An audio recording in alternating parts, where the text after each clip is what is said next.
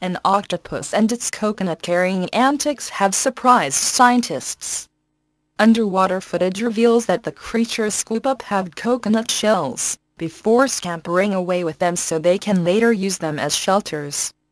The veined octopuses Amphioctopus marginatus were filmed between 1999 and 2008 off the coasts of northern Sulawesi and Bali in Indonesia. The bizarre behavior was spotted on four occasions.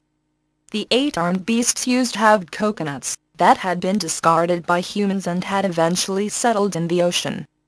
After turning the shell so the open side faces upwards, the octopuses blow jets of mud out of the bowl, before extending their arms around the shell or if they have two halves, stacking them first, one inside the other before stiffening their legs and tiptoeing away.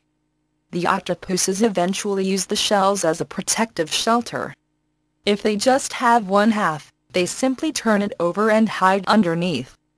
But if they are lucky enough to have retrieved two halves, they assemble them back into the original closed coconut form and sneak inside.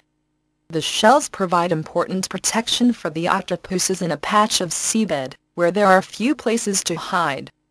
The researchers think that the creatures would initially have used large bivalve shells as their haven but later swapped to coconuts after our insatiable appetite for them meant their discarded shells became a regular feature on the seabed. For Newsfeeder Maria Paul